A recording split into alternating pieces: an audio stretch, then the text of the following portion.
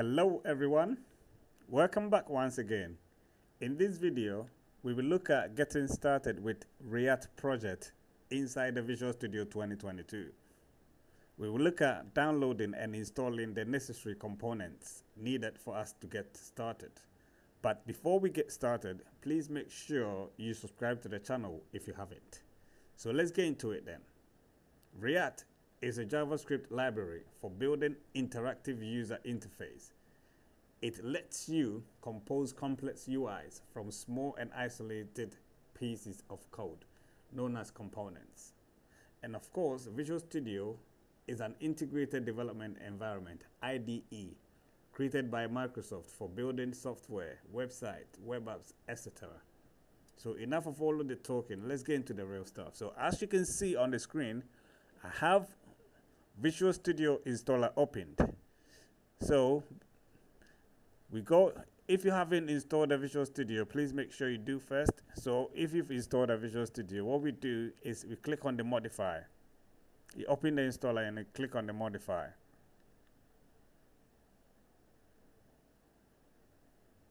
So here, we have to make sure that we check on this box. ASP.NET and web development. So this actually helps you to build web applications using ASP.NET Core, ASP, HTML, JavaScript, and whatnot. Yeah. And then we have to also make sure that we click on this, the Node.js development. So this will actually install all the necessary Node components. Yeah. So once we once you select on this ASP.NET and web development, you have to also make sure that you have these options selected as well. So ASP.NET web development. So you have to make sure that we have this option selected here, the additional project templates. Yeah, you have to make sure that this is also checked.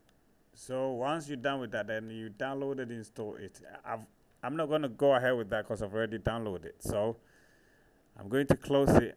Then we launch the Visual Studio. But before we actually launch the Visual Studio, there's one more thing that we got to do. We have to open the browser,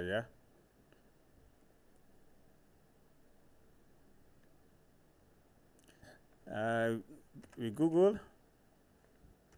I mean, Google, Google on Google. We Google, uh, we, we, we installed the Node. We download and installed Node.js, yeah? Node.js. So here you actually install whatever is applicable to you, yeah? So you download and install the Node.js, .js, yeah, it's very important. So once you're done with that, yeah, then you actually restart your computer. After that, then we click on the, we come at this stage, yeah, we click on the create a new project. So here, as you can see, if it's on the all languages, yeah, we select JavaScript, yeah?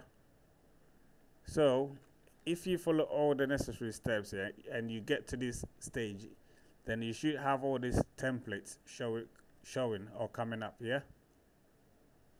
So we scroll down. So as you can see here now, we have a standalone JavaScript React project. So this is JavaScript React project template, which is a bootstrapped, which is bootstrapped by running your global install NPS, yeah?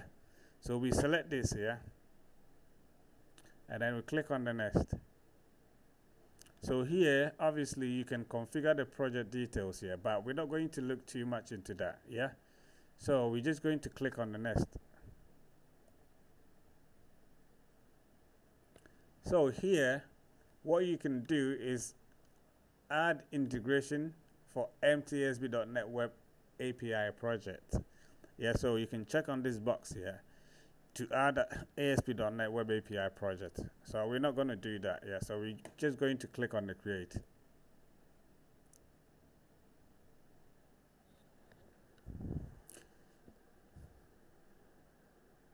So once you get this, yeah, this window, so you um, okay, yeah, to proceed.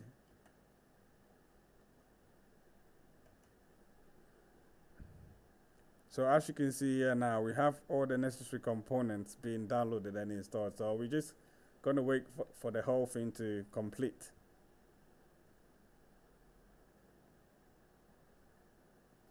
So obviously I'm just going to pause the video while the whole thing completes so now that we've got the command installation completed so as you can see here now we have the Visual Studio being started yeah? So as you can see here now we have the project being created or created for us yeah?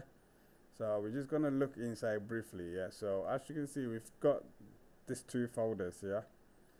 So this is the public folder yeah? So here we have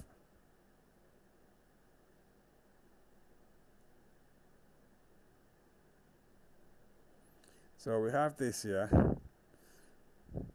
So basically this is the, the the entry point for our application. So we can look at the source as well. So here we look at the um, the index.js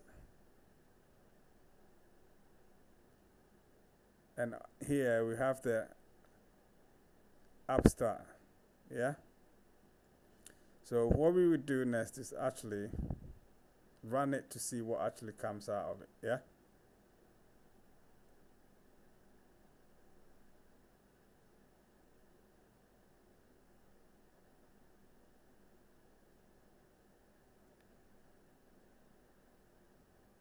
So as you can see here now, we actually have our first React uh, web UI project up and running. Yeah, so from here it's pretty easy just to just to go ahead and actually um, tweak this um, template just to suit whatever you want to do. So if you look at on the screen here now, we have so you can edit a source straight out from the app.js, yeah? So we look at that before I actually sign up, yeah? So if we come inside here, we come inside the source, the app.js. So here, obviously, you can start to edit from here, and you can also add a bunch of stuff, whatever you actually want to add. So as you can see, uh, it's not really difficult to get us started, yeah? So I'm, I'm not going to do a lot, but I'm going to continue from this stage, yeah, on my next upcoming video on this topic, yeah? So we're just going to look at how we can actually edit this um, template, yeah? So stay tuned and um, subscribe because I have a lot of videos coming up. Yeah. So have a lovely morning, afternoon, evening, wherever you are. Blessed.